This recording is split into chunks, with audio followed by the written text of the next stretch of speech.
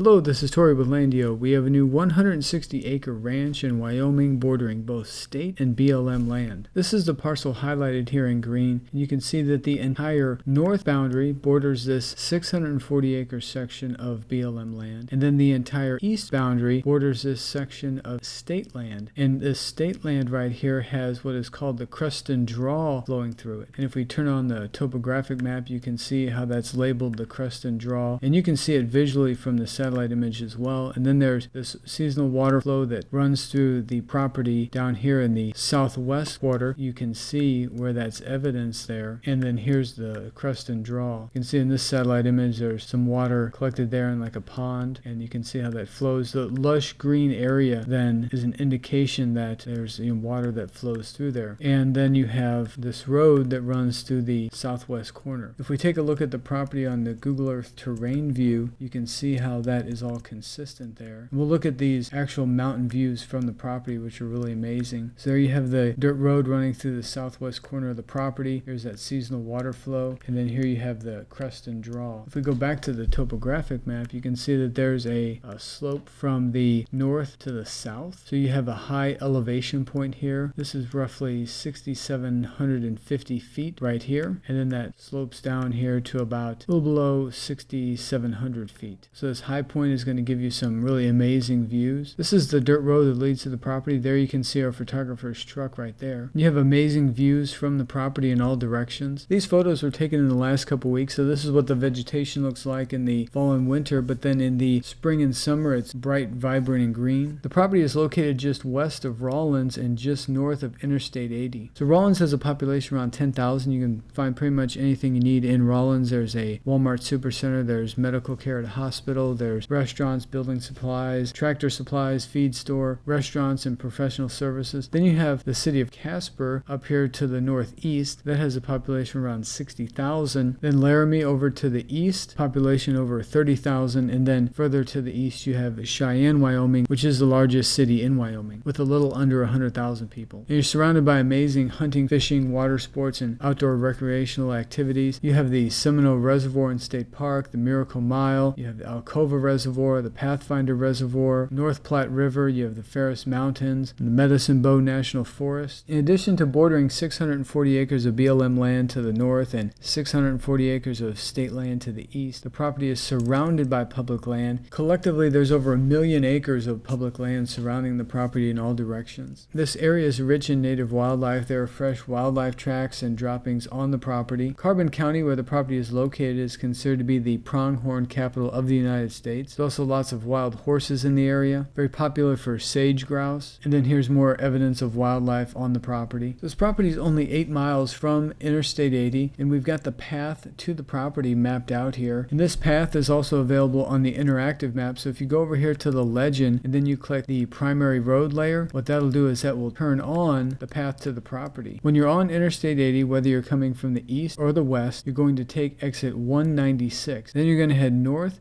and then turn immediately east onto BLM Road number 3203. That is going to turn around here. And that's going to take you north, and then you're going to be heading towards this water treatment plant right here. And this road's going to go around the water treatment plant, back through here, and then you're going to come down south into the property. We have some photos of that mapped out. This is exit 196. You can see where you turn there on 196. Now you're heading towards the water treatment plant. Here we are heading towards the water treatment plant. And then this is the road that goes around around the water treatment plant. Then you head through this unlocked gate, and then here we are on the dirt road, which runs through the southwest corner of the property. These are some aerial photos. You can see there is the road right there. Here are the Ferris Mountains to the northeast. This is the path of the seasonal water flow on the property. You can see how dense this vegetation is. So in the spring and summer, this is going to be lush and green. Some evidence of frozen water on the property. Here's a survey marker on the property. You have these expansive big sky views in all directions. Here you can see some of the gentle slope. There are electric electricity lines and poles about a mile and a half west of the property if that's something that you're interested in. Most of the people out here will use solar and wind and other types of off-grid technologies. And you have amazing mountain views from the property. This is the Wyoming Game and Fish Department website and they have these hunting maps available. So the property is located in area 61 for antelope hunting, area 118 for elk hunting, area 98 for deer, area 11 for mountain lion. It's just to the west of area 17 where you'll find bighorn sheep sheep. And this also is where you'll find the Ferris Mountains. And you're in Area 11 for pheasant hunting, Area 1 for sage grouse, and in Area 5 for wild turkey. From the property, you're only about 40 minutes to Rawlins. Again, Rawlins has a population around 10,000. There's the Walmart Supercenter in Rawlins. There's the Memorial Hospital of Carbon County. This is Main Street in Rawlins. You're about two and a half hours to the Seminoe Reservoir in the Seminoe State Park, which is an incredibly beautiful area. There you have the Seminoe Dam. Then you're about two hours to the Alcova Reservoir, which is popular for fishing, boating, and camping. About two and a half hours to the Pathfinder Reservoir. And all of these reservoirs are publicly accessible. And these reservoirs are created from the North Platte River. So this is the Miracle Mile along the North Platte River. It's a world famous fishing destination. It's known for trophy rainbow trout. This is Fremont Canyon along the North Platte River. Here we have people fishing in Fremont Canyon. Then you're about two and a half hours to Casper again. Casper has a population around 60,000. Just a little over two hours from Laramie, Wyoming, which has a population around 31,000. About two hours and 44 minutes to the Medicine Bow National Forest, which is another incredibly beautiful area. And then about two hours and 48 minutes to Cheyenne, Wyoming. Again, Cheyenne is the largest city in Wyoming, population around 100,000. Then going down into Colorado, you're about two hours and 49 minutes to Fort Collins, which has a population of around 150,000. Then you're about four hours to Denver, Colorado. Denver and the metropolitan area have a population well over a million. We have this 160 acre ranch in Wyoming bordering both state and BLM land,